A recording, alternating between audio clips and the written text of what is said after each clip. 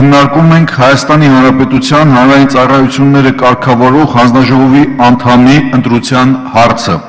Տեղեկացնեմ, որ Հայաստանի Հանրապետության վարչապետը Հայաստանի Հանրապետության հանրային ծառայությունները կարգավորող հանձնաժողովի անդամի պաշտոնում առաջարկել է Սեդա Շահինյանի թեկնածությունը 3 տարի ժամկետով։ Տիկին Շահինյան, համեցեք։ Դուք ունեք մինչև 20 րոպե ժամանակ ելույթի համար։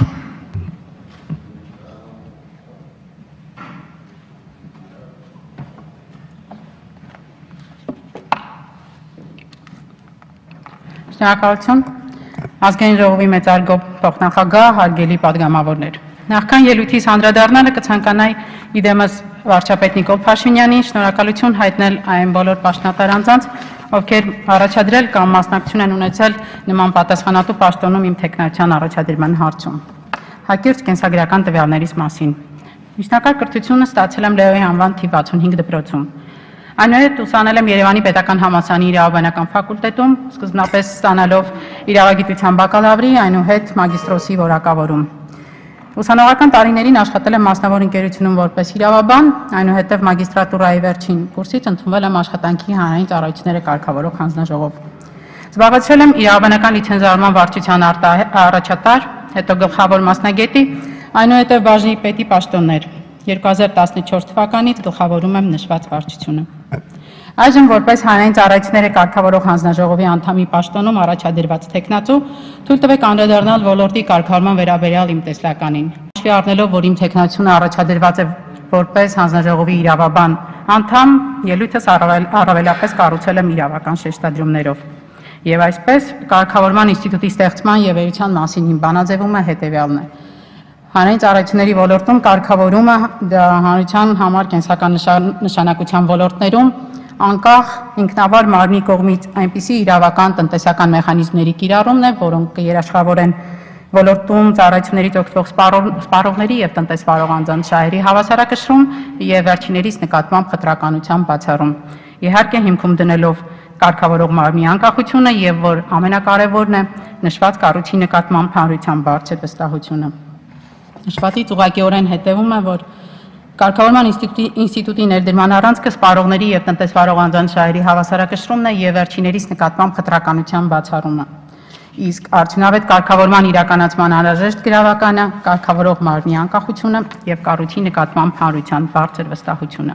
Նշված բաղադրիչներից յուրաքանչյուրին անդրադառնամ առանձին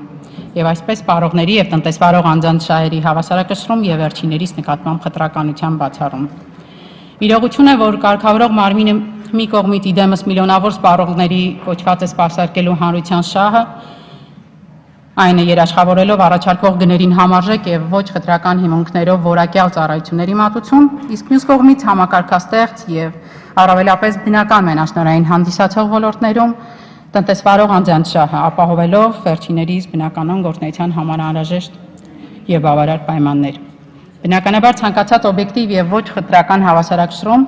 նախ եւ առաջ պահանջում է իրավահարաբերության երկու թևի մասնակիցների կողմից իրենց շահերի ներկայացման հավասար հնարավորությունների արկայություն։ Եթե կարգավորվող անձանց պարագայում խնդիրն առավել քան լուծված է, հաշվի առնելով վերջիներիս ֆինանսական, մարդկային եւ այլ ռեսուրսները, ապա ցավոք նույնն ասել չի կարելի սպառողների մասին։ Վերջիների շահերի պաշտպանությամբ հանդես են գալիս առավելապես հանձնաժողովի հետ համագործակցող ոչ մեծաթիվ եւ իրենց ինստիտուցիոնալ կարողություններով կարգավորվող անձանց ԵԱՊ զիջող հասարակական կազմակերպություններ, ինչով պայմանավորված էլ հանձնաժողովը շատ հաճախ ինքն է ստանձնում սպառողների շահերի պաշտպանության դեր։ Որպես խնդրի սկզբնական լուծում կարգավորող մարմնի մասին օրենքում կատարված փոփոխություններով ամրագրվեց ոլորտային հասարակական կազմակերպություններին հանձնաժողովի բյուջեից ֆինանսավորում տրամադրելու մեխանիզմ հիմքում դնելով կարգավորողի աշխատանքներին առավելապես ձևական մասնակցության պահանջներ։ Սակայն առաջին փուլի համար բավարար թվացող հիշալ կարգավորումը ներկայումս առավել խորքային լուծումներ ապահովող գործիքով փոխարինելու կարիք ունի։ Ելնելով նշվածից, սպառողների շահերի ամբողջական պաշտպանություն իրականացնելու եւ ոլորտի տնտեսվարողներին լիարժեք հակակշիռ դառնալու նպատակով կարծում եմ պետք է անհրաժեշտ քայլեր ձեռնարկել ուղղված հանրային ծառայությունների առանձին ոլորտներում հասարակական կազմակերպությունների մասնագիտացմանը, կարգավորվող օրենսդրության պատշաճ իմացության ապահովմանը, սպառողների շահերի առավել արդյունավետ եւ հասցեական ներկայացման կառուցակարգերի ներդրմանը եւ այլն։ Այժմ խոսեմ կարգավորող մարմնի անկախության եւ կառույցի նկատմամբ հանրության վստահության բարձրացման մասին։ Աներկբա է, որ հանրային ծառայությունների ոլորտում կարգավորման ինստիտուտը երկրի տնտեսության զարգացման իմաստով ունի առանցքային նշանակություն, քանի որ ներառում է չափազանց զգայուն, ստրատեգիկ եւ կենսական նշանակության բնագավառներ։ Հենց այս գործոններն էլ պահանջում են, որպիսի կարգավորողը լինի մասնագիտացված, ինքնուրույն եւ որ ամենակարևորն է օբյեկտիվ իրականությունը արտացոլող։ Իսկ նշված պահանջներին բավարարող կառույց ունենալու համար միջազգային առ- առաջավոր փորձը պահանջում է եւ փաստում, որ կարգավորողը պետք է լինի լիարժեք անկախ։ Ընդ որում, որպիսի նշված անկախությունը չլինի վերացական եւ չափ վերա, լինի որ ոչ վերացական եւ չափելի, նույն այդ միջազգային իրավական փաստաթղթերը մանրամասնում են, որ կարգավորողի անկախությունը պետք է լինի իրավական, տնտես, քաղաքական, ֆինանսական, ֆունկցիոնալ եւ ինստիտու- ինստիտուցիոնալ առումներով։ Իրապես միայն անկախության տար կազմող բոլոր ասպեկտների ամբողջական եւ լիարժեք երաշխավորման դեպքում է կարգավորողն իզորու երաշխավորել համակողմանի, կայուն եւ պրոֆեսիոնալ կարգավորման քաղաքականություն, ներողություն չեզոքացնելով հնարավոր ոչ իրավաչափ ազդեցության բոլոր ռիսկերը։ Այո, միայն վերը նշված պայմանների ապահովմամբ է հնարավոր ունենալ կանխատեսելի եւ վստահություն հարուցող կարգավորման ռեժիմ։ Հայաստանի Հանրապետությունում կարգավորման ինստիտուտի ներդրումը եւս այս առումով բացառություն չէ եւ համապատասխանել է վերենշված օրինաչափություններին։ Սակայն այս ինստիտուտի դերն ու նշանակությունը առանձնահատուկ վերարժևորվեց 2015 թվականի համանդրական փոփոխություններով, քանի որ հանձնաժողովին տրվեց ոչ միայն համանդրաիրավական մարմնի կարգավիճակ, այլև վերջինիս անդամների ընտրությունը վերապահվեց երկրի բարձրագույն օրենսդիր իշխանությանը։ Այդ գործընթացին հաջորդեցին կարգավորող մարմնի մասին օրենքի փոփոխությունները, որոնք հստակեցրեցին համանդրաիրավական երաշխիքների օրենսդրական ամրագրումները։ Ընդ որում նշված սկզբունքային մոտեցումները տեղեկացնեմ, որ նախատեսված են նաև Հայաստանի Հանրապետության եւ Եվրոմիության միջև համապարփակ եւ ընդլայնված գործընկերության համաձայնագրով Հայաստանի Հանրապետության ստանձնած միջազգային հանձնառություններով։ Ելնելով նշվածից կարելի է փաստել, որ ներկայումս բացառությամբ ֆինանսական անկախության ապահովման երաշխիքներից արկա են այն բոլոր նախադրյալները, որոնք կարող են հիմք դառնալ իրապես անկախ կարգավորող մարմնի ձևավորման եւ գործունեության համար։ Ինչպես արդեն նշեցի, հանձնաժողովի աշխատանքիությունը հանրային ծառայությունների կարգավորվող ոլորտում իրավահարաբերության տարբեր կողմերի շահերի հավասարակշռումն է։ Եվ ինչպես հայտնի է, այդ շահերը հաճախ ոչ միայն տարաբևեռ են, այլև ընդհուպ միջև հակասական։ Այս առումով բավական դժվար է գտնել կարգավորման լուծումների այն ոսկե միջինը, որը եւ սպառողների եւ տնտեսվարողների համար կլինի հավասարաչափ ընդունելի եւ ընկալելի կամ առնվազն հավասարաչափ դժգոհություն հարուցող։ Ունենալով տևական աշխատանքային փորձ հանձնաժողովում եւ քաջատեղյակ լինելով ոլորտում արկա խնդիրներին, կարծում եմ հանձնաժողովի կողմից վարվող կարգավորման քաղաքականության արդյունավետության բարձրացման համար նախ եւ առաջ անհրաժեշտ է հստակ հատկորոշել կարգավորման առաջնահերթությունները այնուհետ բոլոր ողջ ներուժը ուղղել դրանց համակողմանի կյանքի կոչմանը։ Այս տրամաբանությամբ էլ ինձ համար առանձնացրել եմ հետևյալ ուղղությունները։ Սպառողների շահերի պաշտպանության ուղղված աշխատանքներ։ Սպառողների շահերի պաշտպանությունը իմ գնահատմամբ պետք է լինի հանձնաժողովի գործնեության առանցքային ուղղությունը, որտեղ իրապես նշանակալի արդյունք կարելի արձանագրել միայն օրենսդրությամբ նախատեսված ողջ գործիքակազմի համակողմանի կիրառման պարագայում։ Արդյունքում բացի այն, որ վեր հանված ցանկացած իրավախախտում պետք է ստանա համարժեք գնահատական եւ իրավախախտ լիցենզառուի նկատմամբ պետք է կիրառվի համաչափ ուժեր միաժամանակ պետք է ամբողջապես վերականգնվի սպառողի խախտված յուրաքանչյուր իրավունք։ Ավելին, այս գործընթացին պետք է հաջորդի ոլորտում արձանագրված թերությունների համակողմանի եւ խորքային վերլուծություն վերհանելով դրանց հիմքում ընկած իրական պատճառները եւ խորամուխ լինելով դրանց առավել արդյունավետ կարգավորման ուղված լուծումների ворթեգրմանը։ Հետևաբար էապես կարևորում են ոչ միայն սպառողների շահերը ներկայացնող հասարակական կազմակերպությունների եւ այլ շահագրգիռ մարմինների մասնակցությունը, այլ նաև ազգային ժողովի падգամավորների ակտիվ եւ գործուն աշխատանքը նշված գործընթացներին հաշվի առնելով, որ մեր ազգաբնակչությունը իր առօրյա խնդիրներով, այդ թվում հանրային ծառայություններին առնչվող շատ հաճախ դիմում է հենց օրենսդիր մարմնի ներկայացուցիչներին։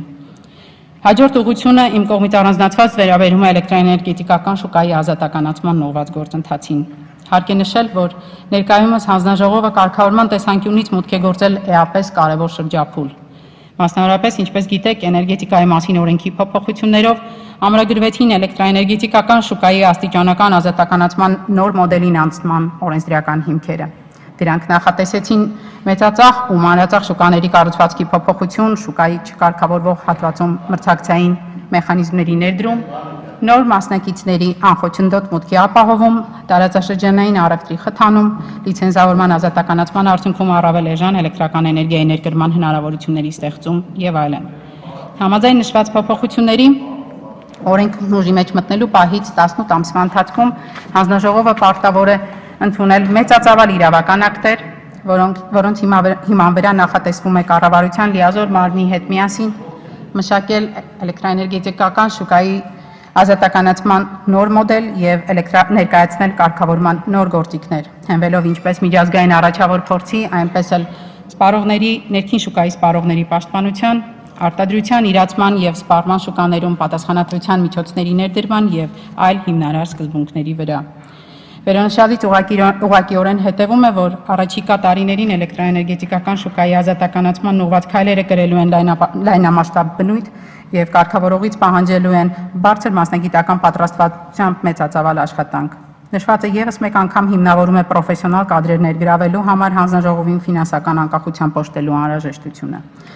Կարգավորող մարմնի հետագա գործնեության կարևորագույն ուղղություն եմ համարում նաև բոլոր շահագրգիռ կառույցներին նախ եւ առաջ ոլորտային քաղաքականություն իրականացնող իրավասու մարմինների հետ համատեղ աշխատանքը, հիմնված մշտական երկխոսության եւ համագործակցության սկզբունքների վրա։ Նման սերտ գործակցության պայմաններում է հնարավոր վերհանել ոլորտի արժեվ ծառացած խնդիրները եւ քայլեր ձեռնարկել դրանց արդյունավետ լուծման ուղղությամբ։ Այս առումով փոփոխությունների անհրաժեշտություն եմ տեսնում ինչպես էներգետիկայի, այնպես էլ հեռահաղորդակցության ոլորտում քաղաքականություն իրականացնող մարմնի եւ հանձնաժողովի իրավասությունների տարանջատման գործող կարգավորումների մասով։ Գտնում եմ, որ քաղաքականություն իրականացնող մարմինների կողմից պետք է հստակ սահմանվեն ոլորտի զարգացման ռազմավարական թիրախները, այն է միջպետական նշանակության ենթակառուցվածքների զարգացման հստակ ուղղությունները, արտադրական հզորությունների թիրախավորման միտումները, ոլորտի զարգացման առաջնահերթությունները եւ այլն։ Նշվածն էլ իր հերթին կհանգեցնի ոլորտում կառավարման եւ կարգավորման քաղաքականությունների ներդաշնակեցման եւ առավել թիրախային բարեփոխումների իրականացման։ Իմ կողմից ուրվագծված հաջորդ առաջնահերթությունը վերաբերում է հերահաղորդակցության ոլորտում արձանագրված հաջողությունների հետևողական ամրապնդմանը եւ շարունակականության ապահովմանը։ Ներկայումս, ինչպես գիտեք, Հայաստանի Հանրապետության բոլոր բնակավայրերը ապահովված են առնվազն 1 օպերատորի հանրային շարժական կապի 2G եւ 3G տեխնոլոգիաների ծածկույթով, իսկ բնակավայրերի 88%-ը հանրային շարժական կապի 4G+ տեխնոլոգիայի ծածկույթով։ Ի շարունակություն նշվածի ներկայումս հանձնաժողովի կողմից նախաձեռնված համապատասխան ռադիոհաճախականությունների տրամադրման մրցութային գործընթացի արդյունքում Հայաստանի Հանրապետության բոլոր բնակավայրերում կապահովի առնվազն 1 շարժական կապի ցանցի 4G+ տեխնոլոգիայի վրա հիմնված 100%-անոց ծածկույթ եւ առնվազն 2 շարժական կապի ցանցերի 4G+ տեխնոլոգիայի վրա հիմնված 80%-անոց փոխադարձ ներթափանցելիությամբ ծածկույթ։ Միաժամանակ նախատեսելով ոլորտում զգալի ներդրումներ եւ պետական բյուջե լրացուցիչ մուտքեր։ Հաշվի առնելով հեռահաղորդակցության ոլորտի զարգացման միջազգային միտումները նաև, որոնք արձանագրում են շարժական կապի լայնաշերտ 5G տեխնոլոգիայի ներդրման անհրաժեշտությունը եւ կարևորելով նշված տեխնոլոգիայի դերը տնտեսության դինամիկ զարգացման ապահովման գործում, հանձնաժողովը շահագրգիռ մարմինների հետ նախաձեռնել է համապատասխան քննարկումներ ուղղված նշված տեխնոլոգիայի ցանցերի ներդրման համար անհրաժեշտ ռադիոաճախականությունների տիրույթների առևտրային նպատակով դրամադրման համար առանձնացմանը։ Եվ վերջապես Առանցքային եմ համարում հանձնաժողովի որպես հանրության համար կենսական նշանակության եւ բնական մենաշնորային ոլորտներում կարգավորում իրականացնող կառույցի նկատմամբ հանրության վստահության բարձրացման խնդիրը։ Այս առումով հանձնաժողովը բավական վճռական եւ համակողմանի քայլեր ձեռնարկելու կարիք ունի։ Հանձնաժողովի անկախության երաշխավորման ուղղված նոր համանդրեի իրավական կարգավիճակի եւ երկրի բարձրագույն օրենսդիր մարմնի կողմից ընտրության պայմաններում Որպես զսպող մեխանիզմ պետք է առավել ընդգծելի դառնան հանձնաժողովի կողմից հաշվետվողականության, գործունեության հրապարակայնության եւ թափանցիկության ապահովման ուղղված քայլերը, ընդ որում դրանք պետք է ձեռնարկվեն մի շարք ուղղություններով։ Մասնավորապես գտնում եմ, որ ամբողջական վերանայման կարիք ունի ազգային ժողովի հետ գործակցության մեխանիզմները, ինչպես պրակտիկ հարաբերությունների, այնպես էլ գործող կարգավորումների իմաստով։ Ինչպես գիտեք, համաձայն գործող օրենսդրության հանձնաժողովը յուրաքանչյուր տարի ազգային ժողով է ներկայացնում հաջորդ տարվա իր գործունեության ծրագիրը։ Կարծում եմ, խորհրդարանական վերահսկողության պայմաններում արկա է նշված գործընթացը որակապես նոր հարթություն տեղափոխելու անհրաժեշտություն, դարձնելով այն մասնագիտական համակողմանի եւ խորքային քննարկման առարկա։ Ավելին, հաշվի առնելով նաև կարգավորվող ոլորտների նեղ մասնագիտացված բնույթը Գտնում եմ, որ պետք է տարբեր ձևաչափերով, այդ թվում ազգային ժողովի մասնագիտացված հանձնաժողովներում, առանձին խմբակցություններում ակտիվացնել համատեղ աշխատանքները, ուղղված ինչպես առանձին օրինագծերի, այնպես էլ հանձնաժողովի լիազորությունների տիրույթում գտնվող հանրային կարևորության խնդիրների քննարկմանը։ Այս առումով հանրության վստահության բարձրացման կարևոր գործիք կարող է հանդիսանալ նաև հանձնաժողովի անդամների տեխնացուների առաջադրման հարցում ընդդիմադիր խմբակցությունների մասնակցությունը, ինչի վերաբերյալ ինչի օրենսդրական ամրագրման վերաբերյալ ներկայումս օրինագծերի փաթեթ է շրջանառվում։ Հաջորդիվ կարծում եմ անհրաժեշտ է վերանայել գործադիր իշխանության հետ փոխհարաբերությունները։ Մասնարարապես համանadrությամբ հանձնաժողովին վերապահված ինքնավարության շրջանակում խնդրահարույց եմ համարում գործող օրենսդրության համաձայն կառավարության լիազոր մարմնի արչև ֆինանսական առումով հանձնաժողովի հաշվետու լինելու վերաբերյալ կարգավորումը, քանի որ հանձնաժողովին բնորոշ անկախությունը նախ եւ առաջ ենթադրում է գործադիր իշխանության որևէ ազդեցության բացառում։ Փոխարենը կարծում եմ այլ անկախ կառույցների օրինակով Հանձնաժողովի գործնեության հաշվետվողականության եւ թափանցիկության բարձրացման նպատակով պետք է վերջինիս տարեկան ֆինանսական հաշվետվությունները ենթարկել արտաքին աուդիտի։ Հանձնաժողովի գործնեության նկատմամբ հանրային վստահության եւ վերահսկողության մակարդակի բարձրացման նպատակով առավել քան կարևորում եմ քաղաքացիական հասարակության ինստիտուտների հետ համագործակցության նոր ձևաչափերի կիրառման հնարավորությունների դիտարկումը։ Հանձնաժողովի հրապարակային եւ թափանցի գործնեության ապահովման, ինչպես նաեւ կարգավորման գործընթացների նկատմամբ հանրության վստահության բարձրացման նպատակով էապես ընդգծելի է զանգվածային լրատվության միջոցների դերը, հատկապես հանձնաժողովի կողմից որոշումների կայացման համար հրավիրվող նիստերին, ինչպես նաև հանրային քննարկումներին մասնակցության միջոցով խնդիրների ընդգրկում եւ օբյեկտիվ լուսաբանում իրականացնելու հարցում։ Կարևորում եմ նաև հանրային ծառայությունների կարգավորման ոլորտում միջազգային լավագույն փորձի ուսումնասիրության եւ Հայաստանի Հանրապետությունը միջազգային չափորոշիչներին համահունչ կարգավորման իրականացման անհրաժեշտությունը։ Այս առումով հանձնաժողովի հետ համագործակցող հեղինակավոր միջազգային